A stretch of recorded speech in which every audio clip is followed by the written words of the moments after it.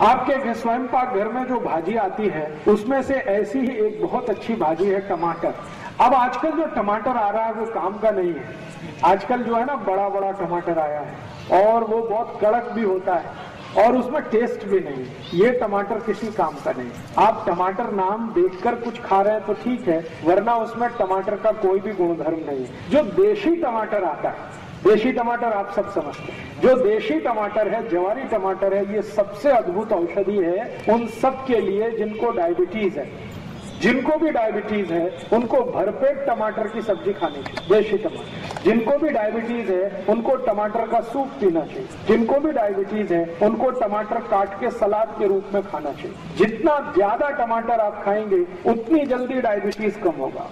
लेकिन टमाटर वही हो जो मैं आपसे कह रहा हूँ, देशी टमाटर, जवारी टमाटर। मिलता नहीं है। आप थोड़ा ढूंढेंगे तो मिलता है, महँगा मिलता है, देर से मिलता है। और आप शेतकरी के सामने बोलिए, हमको देशी टमाटर चाहिए तो वो देगा। अभी शेतकरी नागरिकों को मैं कहता हूँ तो वो कहते हैं राजीव भाई, कोई डिमांड ही नहीं करता। सबको देखने में अच्छा टमाटर चाहिए तो ये विदेशी ही है। आपको देखना अच्छा ना हो, लेकिन क्वालिटी अच्छी हो, ऐसा टमाटर देशी है। तो आप बोलिए भाजीपाला वाले को, वो शेतकरी को बोलेगा। शेतकरी उसका बीज लगाएगा, बीजारोपण करेगा तो आपको मिलेगा। नहीं तो आपके पास अगर थोड़ी खेती है तो आप इसमें देशी टमाटर ज़रूर लगाइए। इस देशी टमाटर का बच्चों के लिए भी बहुत अच्छा उपयोग है। जिन बच्चों को बचपन में चश्मा लग गया आँखों में, उम्र तो कम है, लेकिन आँखों की रोशनी कम हो गई है। उन सभी को टमाटर में काली मिर्च मिलाकर खिलाइए। टमाटर काटिए कच्चा और उसमें काली मिर्च का पाउडर डाल के रोज एक प्लेट भर के सुबह सुबह खिलाइए। चार महीने अगर लगातार खिला दिया तो आँखों का चश्मा उतर जाए। दही मत डालिए खाली टमाटर, काली मिर्च उसके ऊपर डालकर, कच्चा टमाटर के छोटे छोटे पीस काटकर, देशी टमाटर के एक प्लेट भर के। प्लेट भरने से मतलब मेरा है कि खाने के बाद उनका पेट भर जाए बच्चों।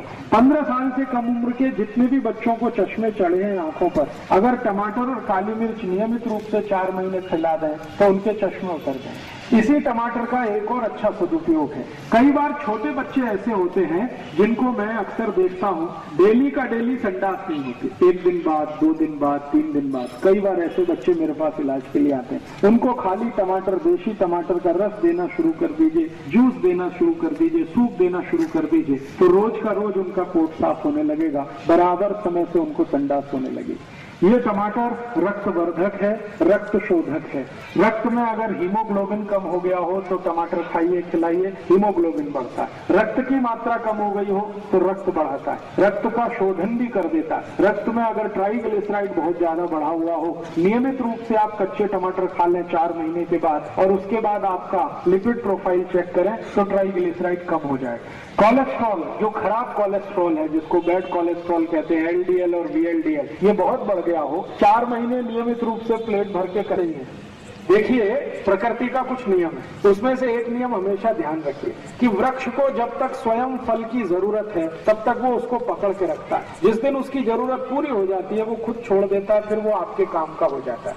तो टमाटर जब तक हरा है, तब तक वृक्ष के लिए ज़रूरी है। क्यों पता है?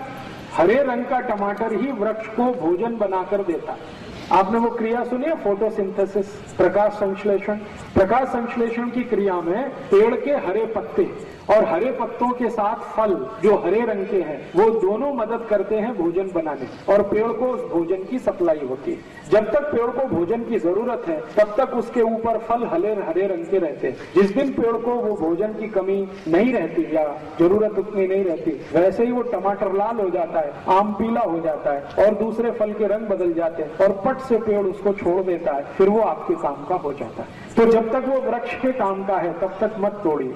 जिस दिन वो उसके काम का नहीं है, वो अपने आप छोड़ने वाला है। आप उसको उठा ली तो टमाटर को वृक्ष तभी छोड़ेगा जब लाल रंग का वो हो जाएगा।